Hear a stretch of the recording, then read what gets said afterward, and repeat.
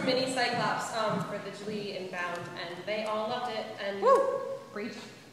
and so they said I should do it for everyone. So I decided, well, I've embarrassed myself enough already, so why not a little more? Yes. Um, they're not helping. this is called Now That You're Big by Stephanie, not Stephanie, oh, Simon Griner in the style of Dr. Seuss. Now that you're big, there's some stuff you should know. There's some stuff you should know about your bits down below. you may notice some stuff when you notice a girl who's about your own age when her boo-boos when her boo-boos go boing, your wang might go wonk. and stick out like a punk when you notice her junk.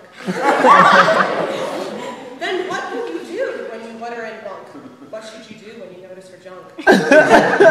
what will you do? Will you do with all that? While your junk, that junk in her trunk, while your wing wings all that. you could do what comes natural. Just ask this elf. Why, he'll tell you there's no shame in touching yourself. but be warned, here's a sum. When you add junk to wunk multiplied by wank, the answer is spunk. just ask that elf, and he'll say with a wink that he'll thank you to wank anywhere but the sink. well, the sink should be fine. That's his personal gripe.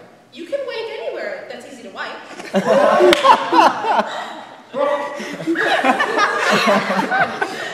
can wank in the bath. You can wank in the lake. You can wank on the phone. You can wank on a tape. You can wank on a boat. You can wank on a ball. You can wank in your school. you can wank in the hall. oh, the places you'll wank. you'll wank most everywhere, sending icky spicky spunk flying up into the air. Unless you're a girl. If you are, here's the dirt. Though you might not muster, though you might not spurt spunk, you might muster a squirt. and while squirting is fun, you'll like what comes next. Take a look at this thing. This thing is a sex. Here's a sex in a bed. Here's a sex in a hut. and if it's okay, here's a sex on a butt. But you must have real trust with a sex in the butt. Yes, for sex in the butt, lots of trust is a must. also relaxing, that is important too. Much relaxing for sexing and saxing. but sexing is special. There's no ifs or maybes. Because sexing makes bodies like factories for babies.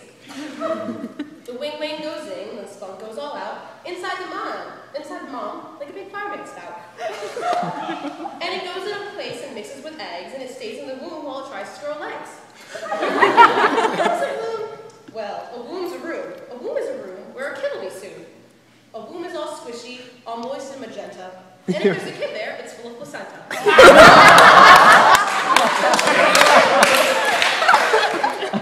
the kid must be small if there's one at all. Just the size of a bean or the size of a ball. When the kid gets too big, then it's time to get out. When it happens to you, you will probably shout. Because the kid must come out of a very small door.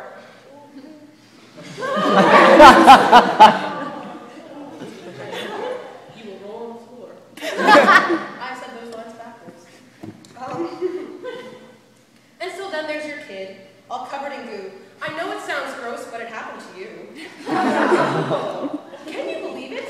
I know it sounds dumb that a kid can come out of a hole near your bum. but it's not just a thing that I thought that I thought. It's all true, so watch out when you're bumping your junk.